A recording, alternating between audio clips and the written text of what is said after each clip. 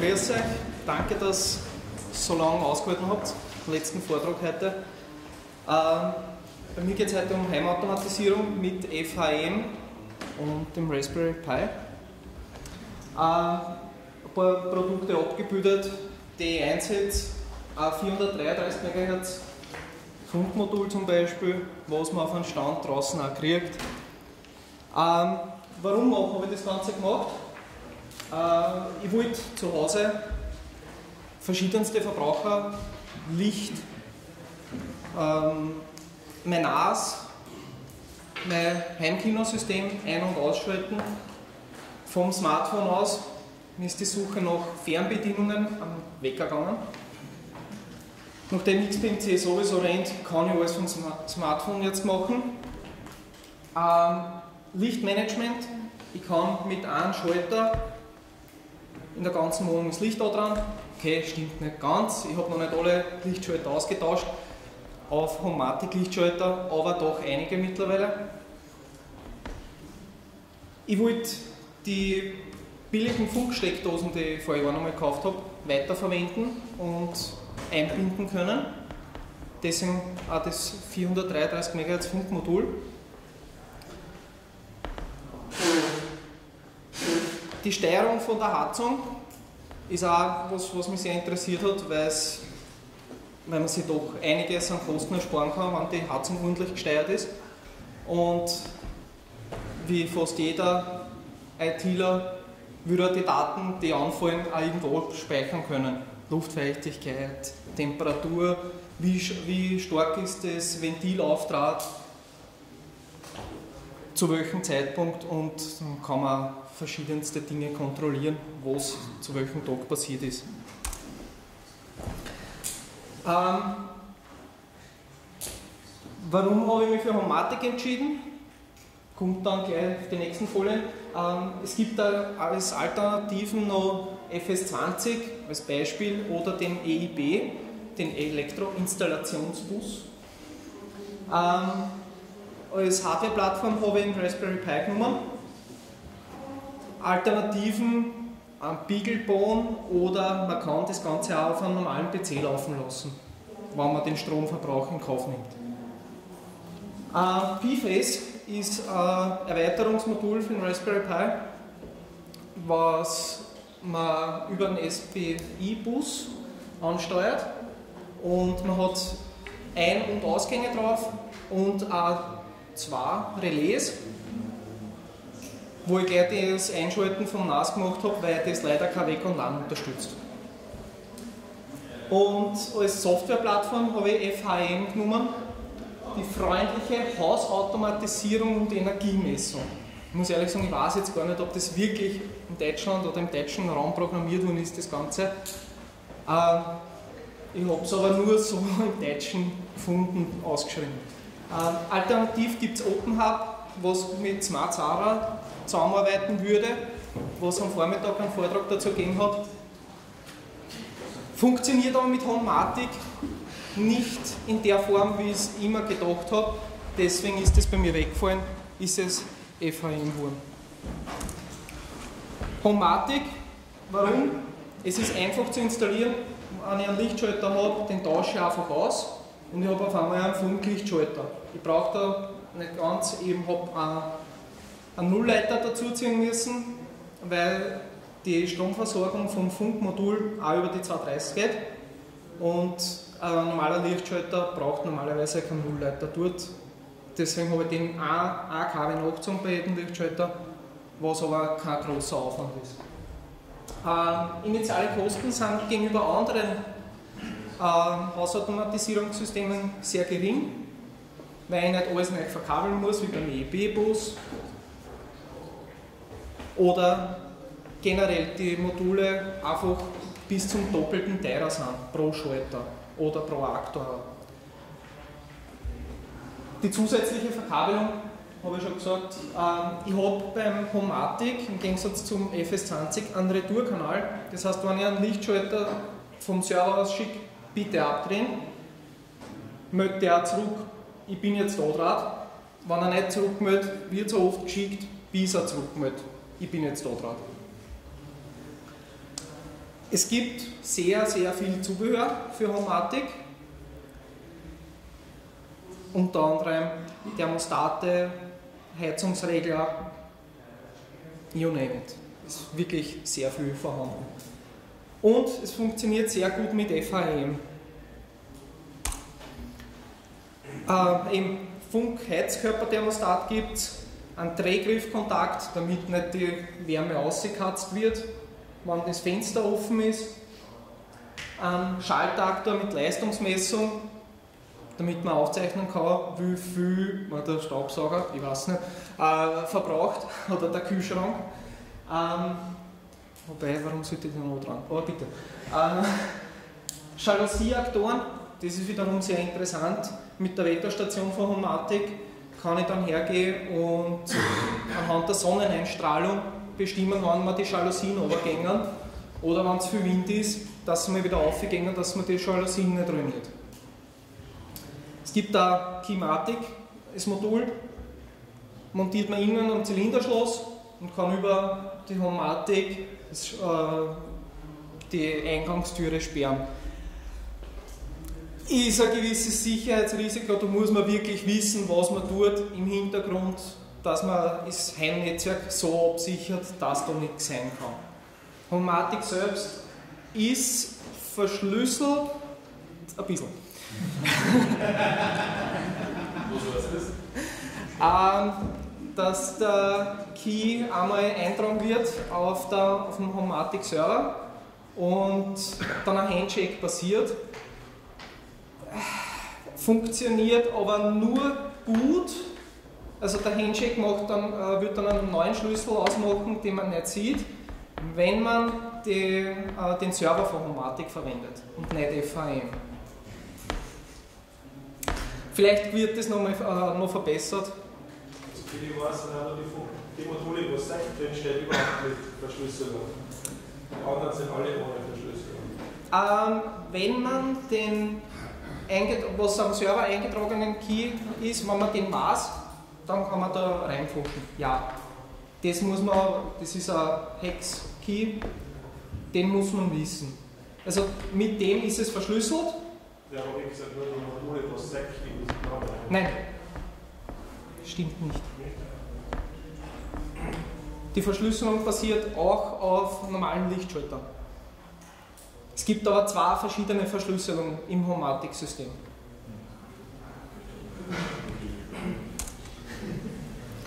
Da geht es um Authentifizierung und Verschlüsselung. Die authentifiziert wird nur äh, die Module mit SEC, verschlüsselt wird, auch, wird jedes Modul. Es hat beim Dings beim Chaos Communication Kongress war Vortrag, da die ganze andere Schwankheiten. Wie gesagt, es ist keine sichere Verschlüsselung, aber es ist auch nicht so, dass ein Einbrecher hergeht und sagt am Handy, so, mach auf und das Ding macht, was er will. Man muss da natürlich aufpassen, wenn der Raspberry Pi im Internet steht, kann man sowieso alles machen, da nützt er die beste Verschlüsselung. Somit ist das alles sehr theoretisch. Und die Sicherheit ist immer getrennt zu betrachten von dem nochmal. Sicher, gut fühlen tue ich mich nicht dabei, wenn ich da jetzt das Schloss auf tue. Aber ja, soll man halt das Licht auftragen. Ist jetzt nicht so schlimm für mich. Ähm, warum FHM? Homatic wird ordentlich unterstützt. OpenHub hätte den Nachteil gehabt, dass man Windows-Dienst auf einem Windows-Client laufen muss, dass man mit den Homatic-Module kommunizieren kann. Es ist super einfach zum Installieren. Der Debian D-Package-i und das Ding läuft. Mit ein bisschen Konfiguration, das ist aber kein Thema. Äh, es ist gut dokumentiert im Wiki, fhmwiki.de. Die Android-App ist brauchbar, kann man gut verwenden. Es gibt eine iOS-App, keine Ahnung, habe so ein Gerät nicht. Ähm, den ganzen FHM-Server kann man sehr gut skripten mit Perl, er ist in Perl geschrieben.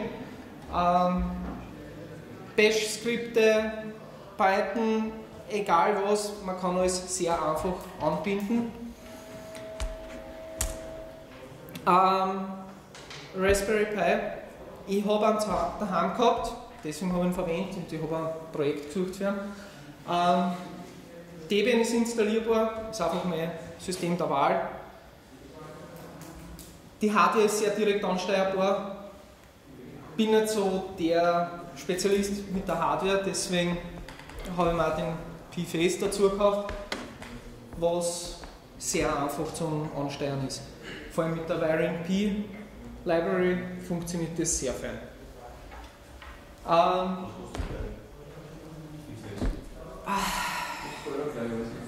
ich glaube 25 Euro ist Face.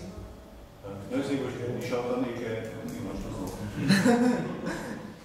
Und der Stromverbrauch ist relativ gering von dem Raspberry Pi. Die 433 MHz Sender und Empfänger eben für die Funksteckdosen. Man kommt aber dann drauf, im Laufe der Zeit, äh, viele Leute haben irgendwelche Wetterstationen draußen stehen. Das lässt man damit auch sehr leicht aus. man braucht sie die dann nicht extra kaufen, weil die 433 MHz. ja, senden dann sowieso die Temperaturinformationen und wenn ich sie empfangen kann, ist es ja nicht. Ähm, äh, die 433 MHz senden nämlich über eine relativ weite Distanz mit einer entsprechenden Antenne auf dem Empfänger kein Problem. Ähm, da haben wir gleich eine Aufzeichnung von äh, Luftfeuchtigkeit unter, ah, okay, das rot man nicht gut, äh, unter Temperatur im Kinderzimmer jetzt bei mir daheim. Ähm, man sieht, wenn ein Fenster aufgemacht wird, fällt die Temperatur und die Luftfeuchtigkeit und danach steigt die Temperatur gleich wieder, weil, sieht man am nächsten, und da sieht man, naja, blau sieht man besser,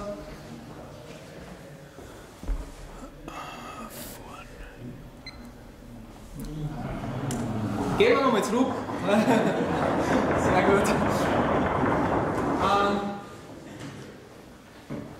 man sieht da schön, dass, habe ich noch mal was ausgepackt, dass da gelüftet worden ist und die Temperatur und die Luftfeuchtigkeit gefallen ist, wobei Temperatur gefallen ist, bewegt sich in einem Grad das Ganze. Also wirklich gefallen ist es nicht. Ähm, und man sieht auf der nächsten Folie dann auch gleich, warum das nicht weiterfällt. Da zum Beispiel ist gelüftet worden, der Regler vom Heizthermostat, äh, von der Heizung ist aufgemacht worden, dass die Temperatur sich stabilisiert. Funktioniert wirklich sehr gut. Die äh, Kombination vom Thermostat und vom äh, Ventil lernt, wie groß der Raum ist und äh, schaut entsprechend, dass der Regler für die gewünschte Temperatur entsprechend aufgemacht wird und heizt nicht jedes Mal Vollgas an, wenn die Temperatur um 1 Grad fällt. Man sieht da die Schalter vom Android App. Man kann einfach die man sieht den Zustand der Schalter, sind an bzw. aus und man kann die Dinge ein- und ausschalten. Man hat hier alle Lichter, kann ich alle Lichter in der Wohnung auf einmal ausschalten, beziehungsweise alles. Einfach mit einem Tastendruck alles auf einmal ausschalten. Frage? Ja? Die Android-App, ist die auch Open Source? Nein. Okay. Nein, aber äh, muss ich sagen, weiß ich nicht. Weil da ist Werbung drin. Ja, ähm, bitte. bitte äh, kauft euch die App. Die Programmierer muss man unterstützen. Aber wenn es Open Source ist, manchmal ist es gut, sowas zu unterstützen. Entschuldigung. Ob, ob die Android-App Open Source ist, war die Frage. Ich bin mir nicht sicher, ob sie, ich glaube nicht, dass sie Open Source ist. Also es gibt ja anscheinend einmal gratis mit Werbung und einmal kaufen ohne Werbung. Genau. Es, wie gesagt, es gibt sie einmal gratis mit Werbung und einmal zum Kaufen ohne Werbung, die App. Es gibt aber nicht nur diese Android-App, mir hat es am besten gefallen, deswegen verwende ich es. Ich habe mir die Version noch nicht gekauft, wie ihr aber.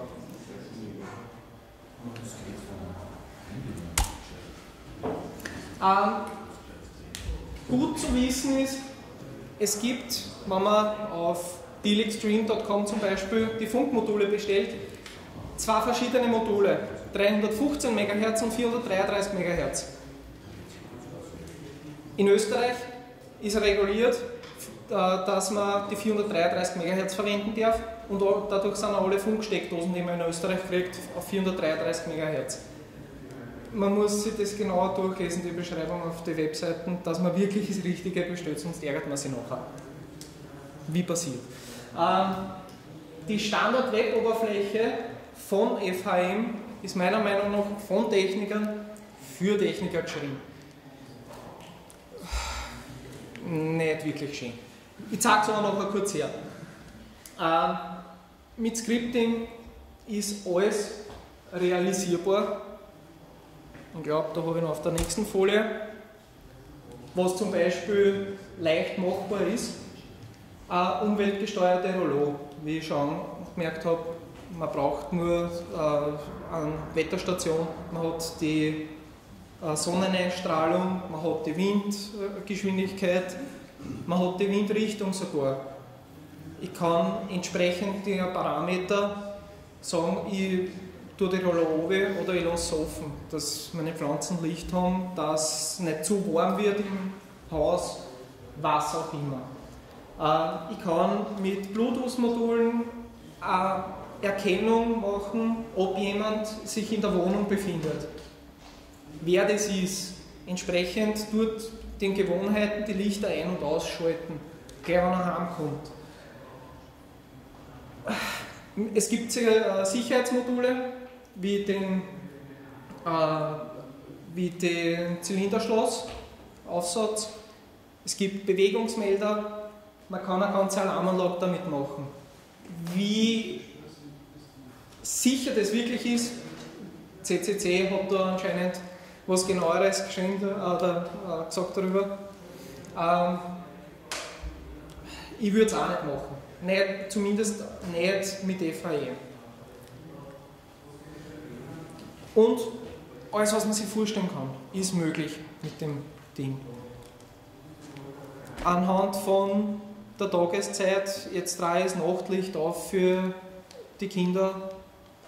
Ich drehe zu einem gewissen Zeitpunkt die Steckdosen ab, weil die Aktoren so klar sind, dass ich es auch hinter einer Steckdose im Unterputz verbauen kann. Egal, was man tun möchte, die Fantasie ist die Grenze.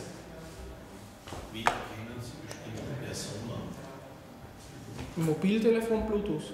Ja, Als ein Beispiel, äh, wie ich die Personen bestimmen kann. Unter anderem äh, Mobiltelefon, Bluetooth. Es gibt aber auch entsprechende äh, Projekte, die Gesichtserkennung auf den Raspberry Pi machen. Man braucht dazu nur eine Webcam. Müsste man halt dann bei der Eingangstüre positionieren, dass man sagt, okay, die Person kommt jetzt rein und trat gleich die Musik auf, die er will. Ist ohne jetzt den riesen Aufwand zu haben, finanziell oder für die Implementation leicht möglich.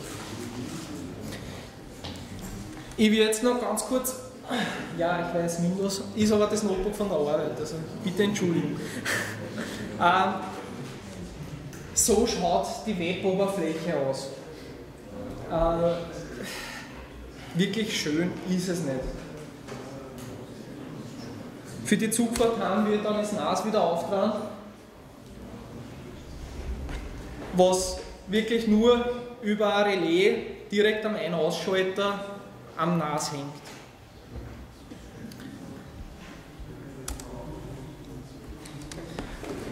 Gibt es noch Fragen? Bitte. Was kosten die Aktoren? Was die, was die Aktoren kosten, ich habe da gerade gehört, 35 Euro. Da drei Stück. Der Thermostat 2696 1. Thermostat 2696, der Aktor 35 Euro. Ich glaube, der Lichtschalter wird, äh, kommt da um die 35 Euro, wo der Taster, der Funktaster mit Aktor eingebaut ist. Die sind innen kombiniert mit, der entsprechenden, äh, mit dem entsprechenden Background kann man die äh, Firmware neu flashen, gibt es alternative Firmware dafür, dass die nicht mehr zusammenhängend arbeiten, sondern dass, dass, dass der Taster nur in Server meldet, jetzt bin ich gedruckt worden und der Server dann in Aktor sagt, bitte schalte jetzt ein. Würde ich nicht machen, weil wenn man jetzt mein Raspberry Pi ausfällt, funktioniert trotzdem alles weiter. Was wiederum eine nette Sache bei der Homatic ist, dass einfach alles weiter funktioniert, weil die Geräte untereinander auch gebärt werden. Wie ist es das Ganze Wie du oder wie spielt das Ganze zusammen? Das Homatic-Modul liegt und steckst du Raspberry Pi an und funktioniert das auch jetzt auch, wenn es ausführlich ist, so funktioniert das weiter, aber muss du dabei das Ding konfigurieren oder? Ähm, was muss das Pi fixen, wenn es verkauft? Mehrere Fragen. Da, zuerst einmal PyFace habe ich extra braucht fürs Relais zum Beispiel. Für, äh, und für einen Taster, die, damit die einzelnen Geräte vom Schreibtisch aus schalten kann. Eine Bastlerei. Wie werden die Geräte gebärt? Nur eine kleine Installation. Man muss die Hardware vorbereiten. Da gibt es äh, von Homatic einen Netzwerkadapter. Der wird mit Ethernet angeschlossen, kriegt eine IP-Adresse und über den Adapter den man einmalig einmal mit Windows konfigurieren muss, leider, ähm, kann man über die Funkschnittstelle von dem Adapter mit den Geräten reden. Diese Geräte werden dann gepaart mit FHM und dem LAN-Adapter. Sie haben auch die Infrastruktur, das verbunden sind und Logik ist das eine, der Server oder die Applikation ist alles am Pi dann drauf. Genau so ist es. Die Logik ist alles am Pi. Ich frage noch, wie ist das Funkmodul mit Pi verbunden? Ist das oder SPI? Ähm, das Funkmodul ist über die GPIOs verbunden mit dem Pi, wird aber in Kürze alles auf dem Blog sein, eine komplette Anleitung, wie man das, zumindest meine Konfiguration, wie man die macht, wird noch ein paar Tage dauern. Ich habe es jetzt nicht zusammengebracht bis heute. Was sind das für Funkmodule? Solche, die ganz dumme sind, Bitpreis doppeln muss, solche mit, mit, äh, mit dem WDF von Rom oder sind das eher ähm, Die Frage ist, was sind das für Funkmodule? Ganz dumme. Man kann Daten oder nicht also Daten senden und 1 und 0 senden, das war's. Ähm, die Funksteckdosen sind nicht so intelligent. Die senden einen String und das war's. Da kommt nichts zurück, da gibt es keine Authentifizierung, nichts. Somit sendet man das raus, da hat man kein Problem damit.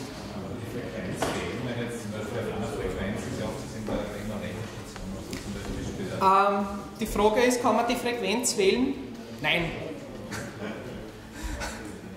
Die 433 MHz, äh, die sind sehr breitbandig, die Funkmodule, die nehmen alles auf und schicken wahllos raus. Was aber recht gut funktioniert.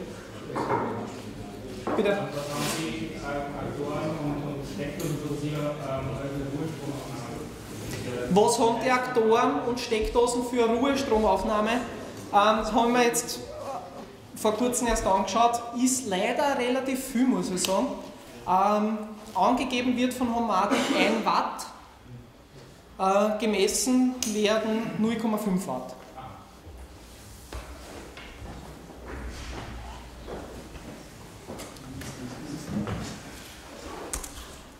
Ja, da sind wir eh schon. Äh, Gibt es noch Fragen? Bitte. Äh,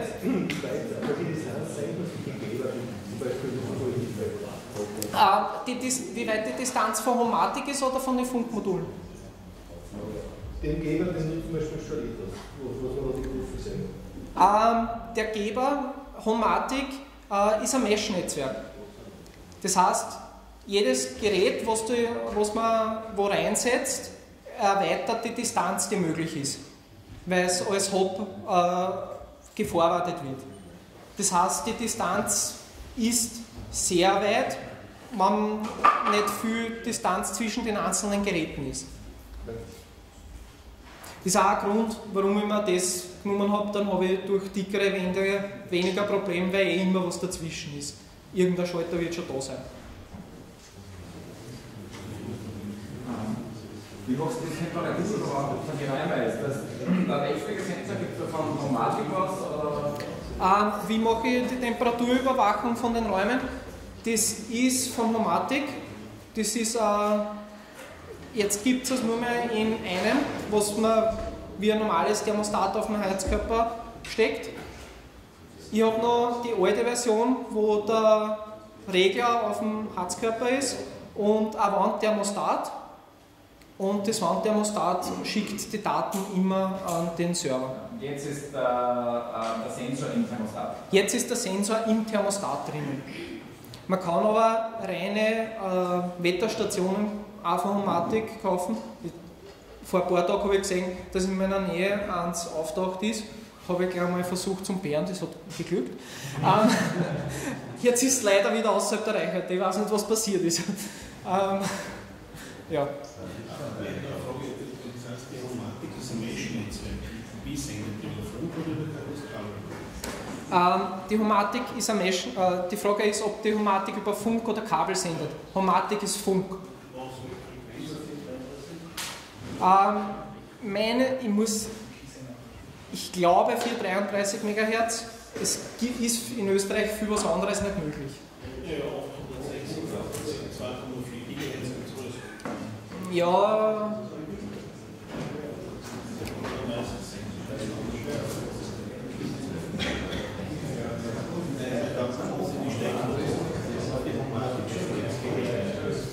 ähm, die Frage ist, ob sie die Homatik und die Steckdosen ins Gehege kommen. Ähm, bis jetzt nicht. Da habe ich noch kein Problem gesehen. Überhaupt nicht. Aus welchem Grund auch immer, ich äh, sicher mit dem, äh, mit dem Empfangsmodul von den 433 MHz keine Datenpakete von der Homatik. Warum auch immer, das kann ich nicht beantworten. Das habe ich mir noch nicht genau angeschaut, dadurch, dass alles einfach funktioniert.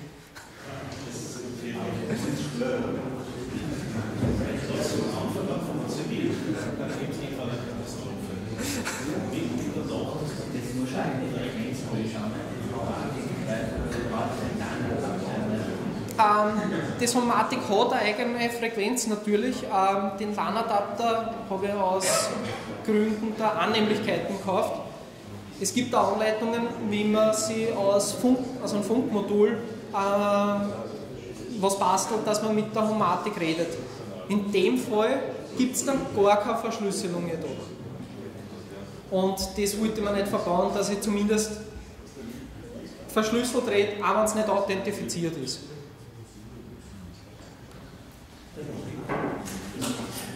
Wird da Funkverbindung aufrechterhalten, auch wenn dort nichts passiert, so eine Aktion gemacht? Äh, Das ist eine gute Frage. Ich vermute nein, dadurch, dass die Geräte immer wieder, äh, an Funk, äh, immer wieder Informationen an den Server senden, beziehungsweise der Server die Informationen immer wieder abholt. Ich glaube nicht, dass das aufrechterhalten bleibt. Es würde keinen Grund sehen dafür. Kann es aber nicht beantworten. Weißt du vielleicht, was da für Protokollverbindung ist fürs Funk, also physikalische Ebene, oder? Nein. Äh, die Frage ist, ob ich weiß, was da für ein Protokoll verwendet wird auf der physikalischen Ebene im Funk. Nein, weiß ich nicht. Was sind das für, für Typen? Das? Ah.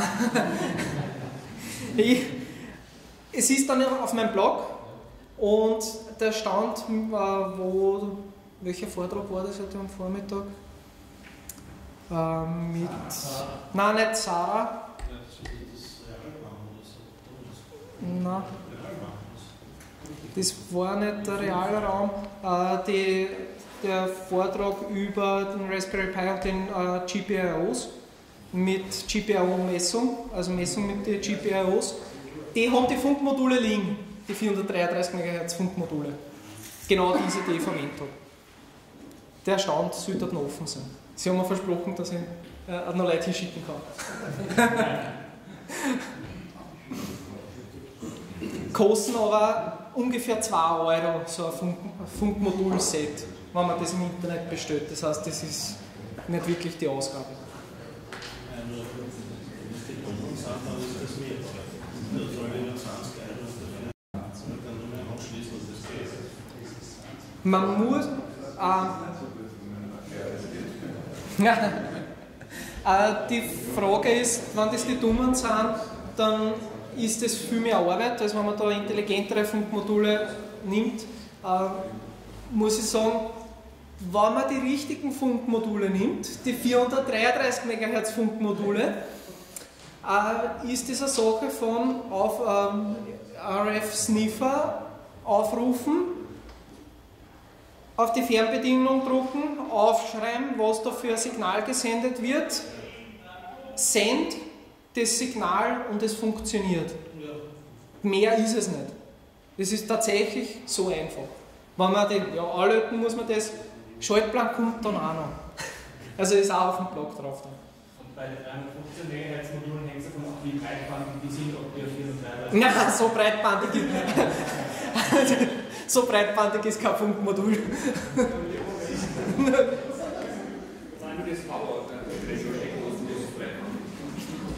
Bitte? Ja. Gibt es noch Fragen? Ja. Wie weit sind die Module spannend für Spannend, die Funkmodule. komplett?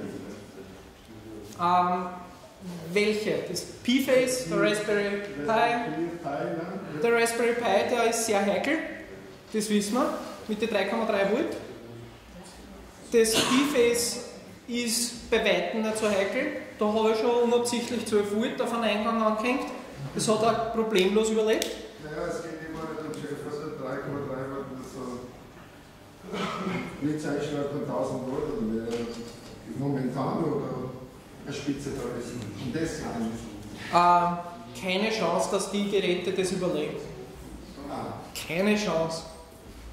Der Raspberry Pi mit seinen 3,3 Volt direkt auf dem äh, Prozessor angeschlossenen Kanälen, der überlebt das nicht. Das gibt es gar nicht. Ebenso die anderen, oder die Homatic-Geräte. ja. Die Homatic-Geräte wären, ich weiß es nicht. Also das wird wahrscheinlich heikel sein. Aber nicht viel heikler wie jedes andere Elektrogerät, was sowieso an der Steckdose hängt. Ein Computer, ein DVD-Player, das kann ich mir nicht vorstellen. Die,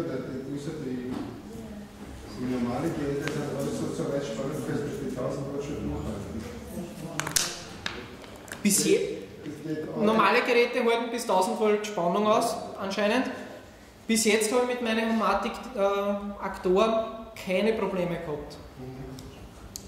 Also, Ich, die, da, das habe ich mir noch nicht durchgelesen. Nachdem es aber in Österreich und in Deutschland erlaubt ist, die zu verbauen, da werden sie sich schon an gewisse Richtlinien halten müssen. ah, okay. Frage ist ein anderes Fall jetzt. Die Möglichkeit. Also, so, ich würde gerne mein Garten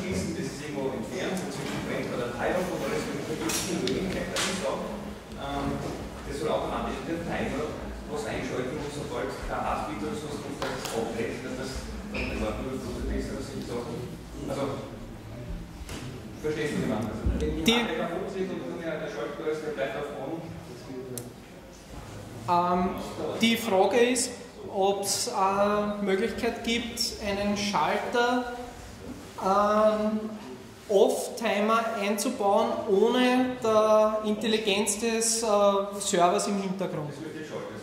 Ähm, es gibt Timer und Schalter. Es gibt ein paar so Dinge. Ich muss aber sagen, beim normalen Lichtschalter mit Sicherheit nicht. Äh, die anderen Aktoren, die es gibt, habe ich mir noch nicht äh, so detailliert angeschaut, dass ich das beantworten kann. Ich, muss- ich, glaube nicht. Es ist aber jetzt nur eine Vermutung von mir. Das müsste man, da müsste man sich die verschiedensten Aktoren, die es gibt, anschauen.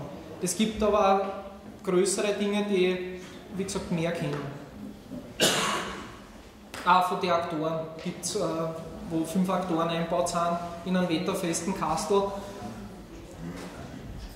Da ist es leicht möglich, dass so eine Funktion implementiert ist. Also die Idee ist leider schon gut, aber ich mir jetzt wieder brauchen, das äh, wirklich äh, zu verwenden, weil was ist, wenn der Raspberry Problem? Was ist, wenn jetzt sich am Funksignal noch wirklich was Heikles eingeschaltet und bräuchte was mit einem so Deadline Switch? Dass das dann selbstständig noch eine gewisse Zeit auftritt. Also das, wäre selbstständig ein Feature, wenn es das gäbe, könnte ich sicher erfüllen. Okay. Ähm, ein Deadman-Switch in einen Schalter einbauen ist äh, eine interessante Überlegung, aber ich muss sagen, ich habe in das Ding genauso viel Vertrauen wie in die mechanischen Zeitschaltuhren, die viele Leute verwenden zum Einschalten von der Pumpen im Garten, ist auch nicht viel sicherer aus meiner Sicht. Weil wenn es da drauf renkt oder ein Dreck drinnen liegt und der dreht sich nicht weiter, dann war es es auch. Also, so, ich bin noch ein bisschen da, bis ich zum Zug muss. Für Fragen gerne noch bereit.